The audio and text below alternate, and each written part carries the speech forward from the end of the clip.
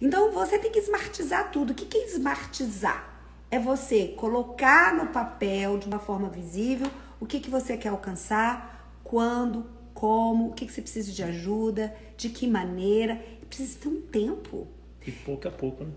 pouco a pouco. Gente, cuidado quando vocês falam assim, é, eu vou tentar até morrer. Meu Deus, cuidado. Você não sabe quando você vai morrer, se é agora, se é muito. Então, até quando eu vou tentar? Quando? Porque quando você compromete com isso, você tem que criar o passo a passo, os pequenininhos. Deixa eu ver, uma pessoa escreveu Gabi, aqui. não tô pegando seu pé não, tá? É, ela que tá falando, né?